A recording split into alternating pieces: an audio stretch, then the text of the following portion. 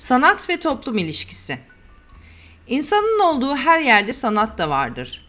Geçmiş dönemler incelendiğinde insanoğlunun ortaya çıkışı ile birlikte sanat eserleri de varlığını göstermeye başlamıştır.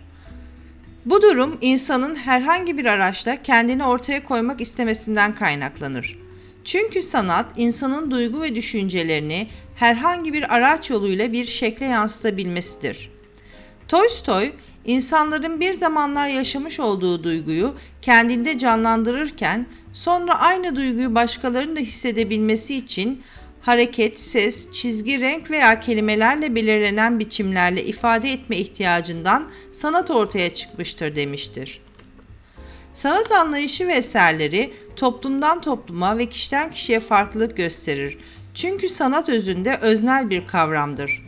Toplumların ve bireylerin bakış açıları değiştikçe, içinde yaşadıkları ortam ve hissettikleri farklı olunca ortaya koydukları sanat eserleri de farklılık göstermektedir.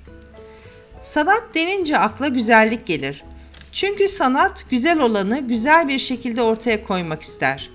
Güzel sanatların varlığı da buradan ortaya çıkmıştır. Bir açıdan bakıldığında sanat, doğada var olan güzelliği ortaya koymaktır. Ancak Hegel sanattaki güzelliğin doğadaki güzellikten farklı olduğunu söyler. Bu da sanatın sanatçıdan ruhu almasından yani sanatın öznelliğinden kaynaklanır.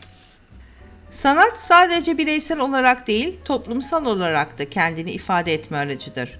Sanattan uzak olan bir toplum kendini geliştiremez. Mustafa Kemal Atatürk de bu durumu şu sözlerle ifade etmektedir. Bir millet sanattan ve sanatkardan mahrumsa tam bir hayata malik olamaz.